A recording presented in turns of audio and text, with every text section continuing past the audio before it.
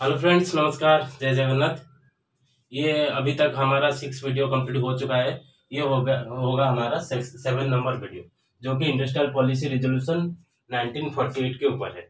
और ये ये हो जाएगा हमारा इंडस्ट्रियल पॉलिसी का फास्ट फास्ट पॉलिसी जो कि क्या डिक्लेरेशन लेके आया था? ये जो, देखिए देखिए, जो, ये जो रहा इंडियन इकोनॉमी इंडियन इकोनॉमी को ये फास्ट मिक्स्ड इकोनॉमी डिक्लेयर किया। जो इंडस्ट्रियल पॉलिसी 1948 आया था, ये इंडियन इकोनॉमी को मिक्स्ड इकोनॉमी डिक्लेयर किया था और इसका स्पेशल फोकस किसके ऊपर था? स्पेशल फोकस था small scale and cottage industries इसका स्पेशल फोकस किसके ऊपर था? Small scale and cottage industries then government restricted foreign investment foreign investment को यहाँ पर रेस्ट्रिक्शन फुल्ली रेस्ट्रिक्शन था, जो कि फॉरेन से कोई भी इन्वेस्टमेंट हमारा नहीं आएगा। और नेक्स्ट क्या था? This philosophy also known as socialization of a vacuum. This philosophy also known as socialization of a vacuum. Means, देखो सोशलाइजेशन क्या बोल रहा है कि जो कि जो कि गवर्नमेंट है, जो कि गवर्नमेंट कंट्रोल में जो जो सब कुछ आएगा। गवर्नमेंट कंट्रोल में स्टेट गवर्नमेंट हो या सेंट्रल गवर्नमेंट हो, उसके कंट्रोल में जो सब कुछ आएगा, उसको हम क्या बोलते हैं? Vacuum socialisation of vacuum okay हो गया? ये रहा इकोनॉमिक पॉलिसी 1948 का मेन मोटो था जो मिक्स्ड इकोनॉमी मिक्स्ड इकोनॉमी को इंट्रोड्यूस किया था। स्पेशल फोकस था small scale and cottage industry के ऊपर और फॉरेन इन्वेस्टमेंट के ऊपर फुल्ली रेस्ट्रिक्टेड था और जो पॉलिसी था उसको सोशलाइजेशन ऑफ़ वैक्यूम उसका अदर नाम भी था। देखिए जो पॉलिसी था, हमारा जो जितने भी हमारा कंट्री में इंडस्ट्रीज़ थे सभी को उसने फोर कैटेगरी में डिवाइड किया था। सब, सभी को फोर कैटेगरी में डिवाइड किया था। देखो फ़र्स्ट कैटेगरी में क्या आ रहा है? स्ट्रैटेजिक इंडस्ट्री आ रहा है। सेकंड में आएगा बेसिक इंडस्ट्री सेकंड में आएगा बेसिक इंडस्ट्री और की इंडस्ट्रीज़ थर्ड में आएगा इंपोर्टेंट इंडस्ट्री लास्ट में अदर को। जो भी ये तीनों में नहीं आया उसको हम अदर इंडस्ट्रीज़ में ऐड कर देंगे।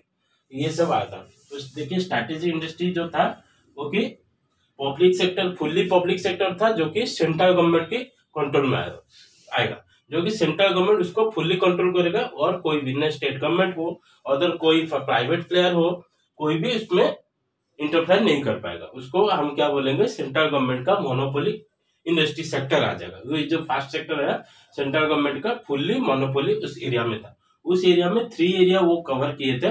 फ़र्स्ट था arms and ammunition atomic energy rail transport ये तीनों एरिया ये तीनों सेक्टर ये तीनों सेक्टर किसमें आ गया? सेंट्रल गवर्नमेंट के फुल्ली कंट्रोल में आ गया।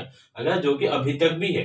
अभी तक भी है जो कि वहाँ पर इसी एरिया में कोई भी अदर सेक्टर जैसे कि स्टेट गवर्नमेंट हो और प्राइवेट सेक्टर हो और कोई बड़ा बड़ा इंडस्ट्री हो इन्वेस्टमेंट हो, कुछ भी और कोई नहीं कर सकता। ओनली कौन करेगा? सेंट्रल गवर्नमेंट ही कर पाएगा। वो एरिया था थ्री सेक्टर था।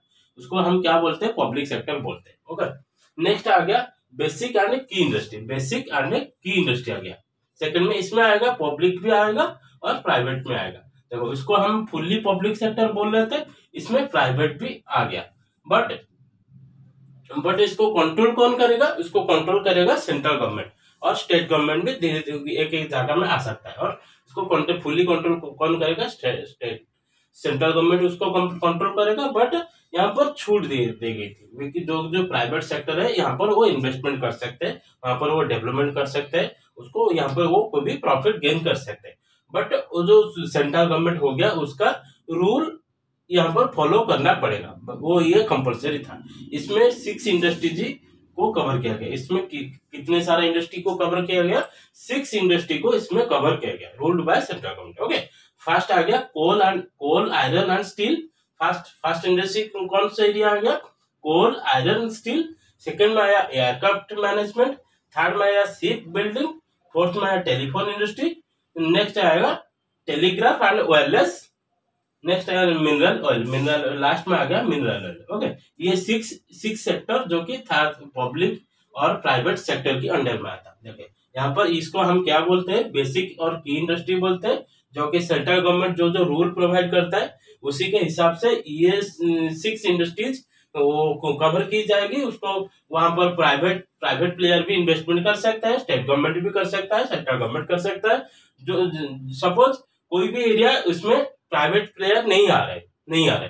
मतलब क्योंकि वहाँ पर उनको प्रॉफिट नहीं मिल रहा तो वहाँ पर वो क्या करेंगे? इन्वेस्टमेंट नहीं करेंगे। इसलिए क्या होगा? वो सेंट्रल गवर्नमेंट हो स्टेट गवर्नमेंट हो। बेसिकली सेंट्रल गवर्नमेंट वहाँ पर वो इन्वेस्टमेंट करेगा। वो एरिया को डेवलपमेंट करने के लिए वो सोच जाता है। इस एरिया में ये कवर हो गया। ओके नेक्स्ट आ गया थर्ड इंपोर्टेंट इंडस्ट्री थर्ड में आ गया क्या? इंपोर्टेंट इंडस्ट्री इंपोर्टेंट इंडस्ट्री में इसमें बहुत सारा इंडस्ट्री कवर हुआ था जो कि 18 इंडस्ट्री था। कितना था? 18 इंडस्ट्री था। कितना था? 18 इंडस्ट्री था।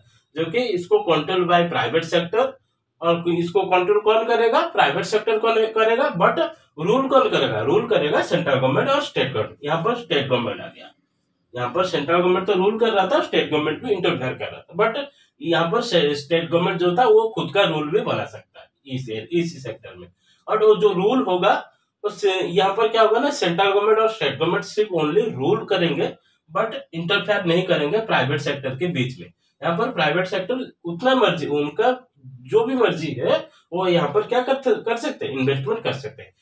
जिस एरिया जो बच के बच जाएगा वो सेंट्रल गवर्नमेंट और प्राइवेट सेंट्रल गवर्नमेंट और स्टेट गवर्नमेंट उसको कवर करेंगे। इसमें कितना था?